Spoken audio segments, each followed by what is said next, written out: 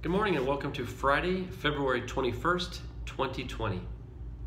And today we're going to be reading out the book of Psalms, Psalm 22, verse 27.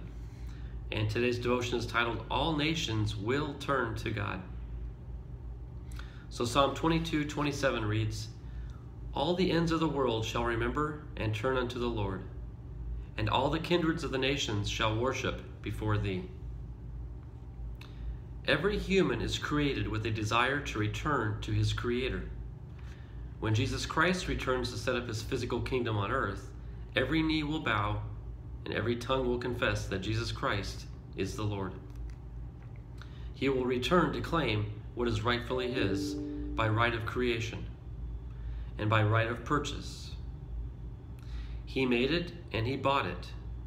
All creation will know its Creator is present and give him worship as God. When I was a teenager, it was a custom for a mothers for mothers to remind their sons, just remember whose name you are carrying out there. If you do not behave, God will send a little birdie to tell me before you get home. After a few trials and failures, I realized what she had said was true. Now I realized that birdie was the Holy Spirit like he was God's truant officer who always has God's interest at heart.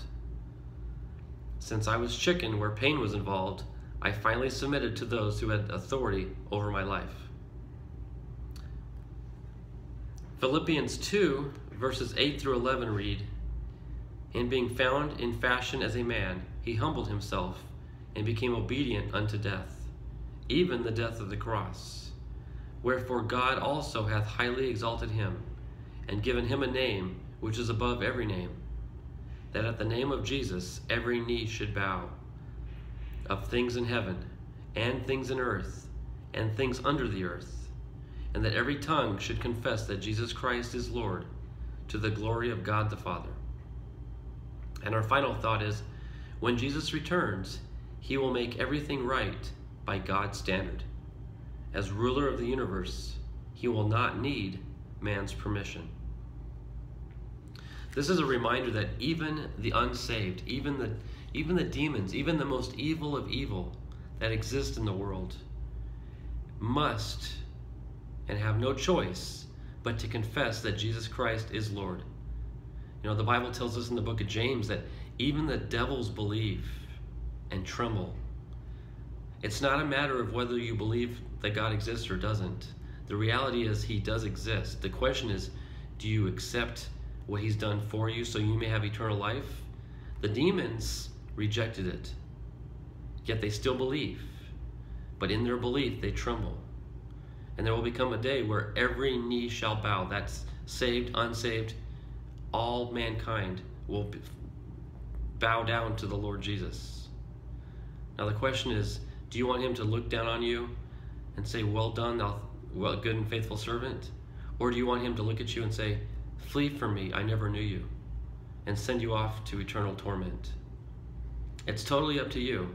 It's a choice that only you can make for yourself. It's nothing, not a choice that anybody can make on your behalf.